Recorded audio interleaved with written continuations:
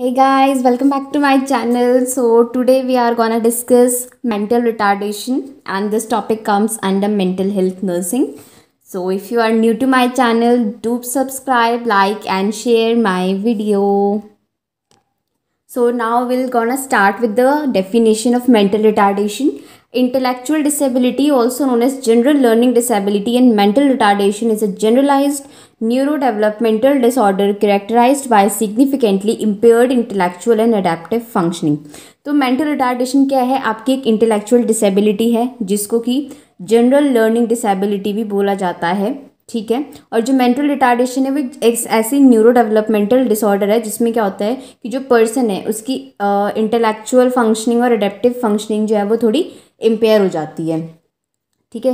The mental retardation is defined as significantly sub average general intellectual functioning and impairment on cognitive and adaptive functioning so mental retardation क्या है? एक तरीके का आपका एक ऐसी कंडीशनिंग है, जिसमें आपकी जो जनरल इंटेलेक्चुअल फंक्शनिंग होती है, वो काफ़ी एवरेज से भी लो चली जाती है। और आपकी कॉग्नेटिव और एडेप्टिव फंक्शनिंग इम्पेयर हो जाती है। सो so, अब आते हैं कॉजेज़ की किन कॉजेज़ की वजह से मेंटल रिटार्ड डिशन होता है? So prenatal and antenatal causes so जो आपके प्री नेटल और एंटीनेटल कॉजेज में आता है आपका infection like syphilis infection meningitis and rubella physical damage अगर किसी वजह से हो रहा है तो उसमें इंजरी या हाइपोक्सिया की कंडीशन है। इंटॉक्सिकेशंस यानी कि जब बॉडी में टॉक्सिन एंटर हो जा रहा है लाइक लेड पॉइजनिंग या कुछ सर्टेन ड्रग्स हैं प्लेसेंटा डिसफंक्शन की जब प्लेसेंटा में कोई प्रॉब्लम आ रही है toxaemia nutritional growth retardation prenatal causes क्या है? बर्थ स्पाइसिया हो रहा है पेशेंट को बेबी को, ठीक है? प्रोलॉन्ग बर्थ काफ़ी टाइम हो चुका है डिफ़िकल्ट बर्थ हुआ है ऑब्स्ट्रक्टेड लेवर है प्री मेच्योर बर्थ अगर हो रहा है बेबी का कोई बर्थ इंजरी है, या इंस्ट्रूमेंटल डिलीवरी है। पोस्ट नेटल कॉजेज क्या होता है? पेशेंट को इंजरी हो गई, कोई एक्सीडेंट हो गया चाइल्ड एब्यूज़ हो गया infection like encephalitis meningitis nutrition ठीक है? और कुछ ऐसे इन्फेक्शंस होते हैं जो at the time of birth present होते हैं लाइक आपका कंजनाइटल सीएमवी ठीक है?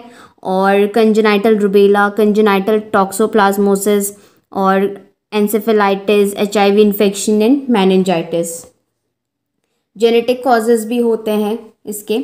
और सोशियो कल्चरल कॉजेज़ भी होते हैं कि अगर आप सोशियो कल्चरल स्टिमुलेशन से बच्चे को डिप्राइव रख रहे हैं तो भी मेंटल रिटार्डेशन के काफ़ी चांसेस हो जाते हैं। अगर पेशेंट आइसोलेशन में है काफ़ी तो भी। अब टाइप्स ऑफ़ मेंटल रिटार्डेशन तो आपके फोर टाइप्स के हैं mild moderate severe and profound mild में जो आईक्यू होता है पेशेंट का, वो फिफ्टी टू सेवेंटी होता है। मॉडरेट में थर्टी टू फिफ्टी होता है सीवियर में लेस देन थर्टी होता है और प्रोफाउंड में लेस देन फिफ्टीन हो जाता है। प्रॉब्लम्स क्या है आपकी? ड्यू टू मेंटल रिटार्डेशन तो पर्सनल प्रॉब्लम्स आती हैं और सोशल प्रॉब्लम्स आती हैं एजुकेशनल प्रॉब्लम आती है and sexual and marital problems आती हैं। तो प्रिवेंशन कैसे कर सकते हैं आप मेंटल रिटार्डेशन का? तो first is your primary prevention primary prevention में क्या करना है आपको? Good antenatal intranatal and postnatal care यानी कि आपको जब लेडी कंसीव कर रही है during pregnancy and after pregnancy आपको अच्छी केयर बेबी को देनी है। किसी भी टाइप के इन्फेक्शन वगैरह से प्रिवेंट करना है। Improve the socio economic status of the community आपको कम्युनिटी का सोशो इकोनॉमिक स्टेटस जो है इम्प्रूव करना है।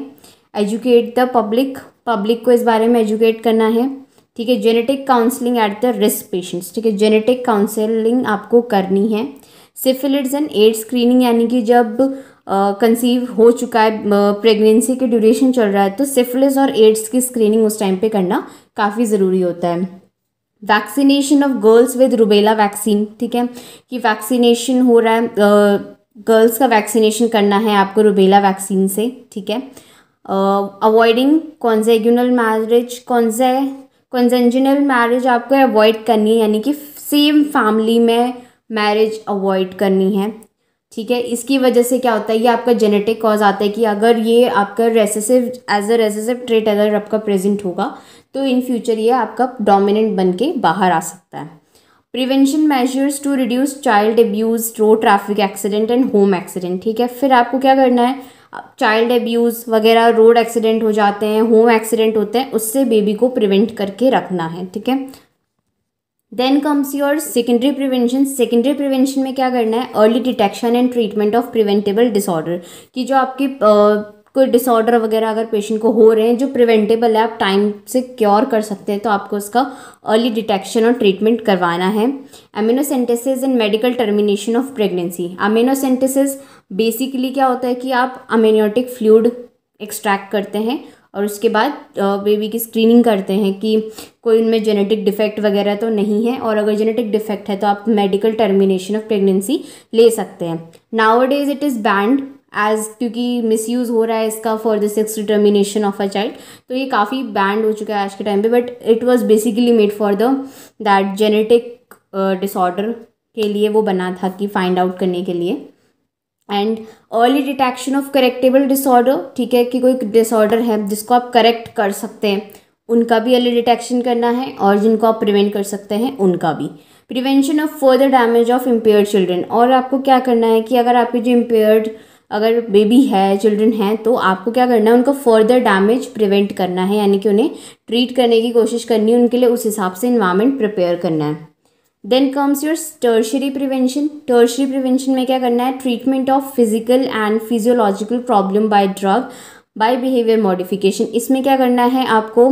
जो पेशेंट है, उसका ट्रीटमेंट करना है फ़िज़िकल और फिजियोलॉजिकल प्रॉब्लम्स का by the use of the drug और बिहेवियर मॉडिफिकेशन यानी आप मेडिकेशन प्रोवाइड कर रहे हैं पेशेंट को, ठीक है? और अपना बिहेवियर मॉडिफाई कर रहे हैं, उसके अगेंस्ट उसको स्ट्रेंज बिहेवियर नहीं दे रहे, एक फ्रेंडली इन्वायरमेंट प्रोवाइड कर रहे हैं.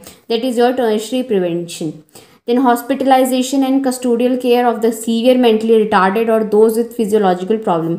और आपको क्या करना है?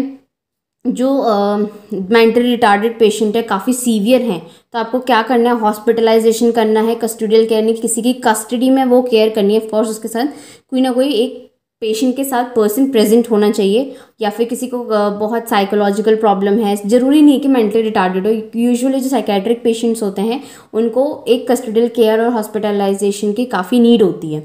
Education and training of mentally retarded to avoid handicaps ठीक है, आपको क्या करना है? जो मेंटली रिटार्डेड पेशेंट्स हैं, उनको एजुकेट करना है ट्रेन करना है, ऐसे प्रोग्राम्स में पार्टिसिपेट करना है रन करना है, खुद एजुकेट होना है सोसाइटी को एजुकेट करना है, ताकि जब उनका रिहेबिलिटेटिव फेस आए तो वो अपने आप को एक आइसोलेट एक एलियनेशन में ना फील करें। वो अपने इन्वायरमेंट के अकॉर्डिंग अपनी बॉडी के अकॉर्डिंग एडजस्ट हो जाएँ।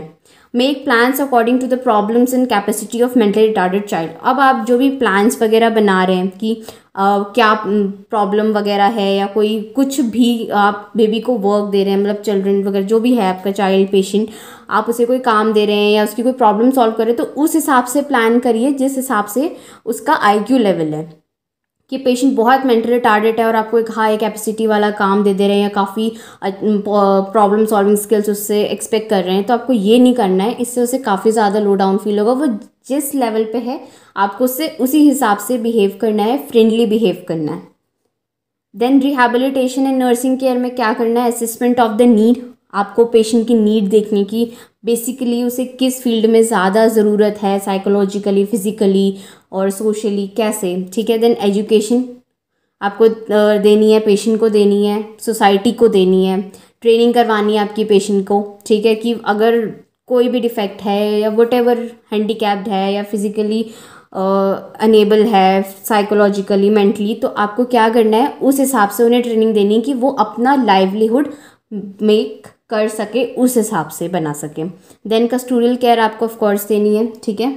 So thank you so much guys hope you all like the video so don't forget to hit the like subscribe and share button and stay tune for more videos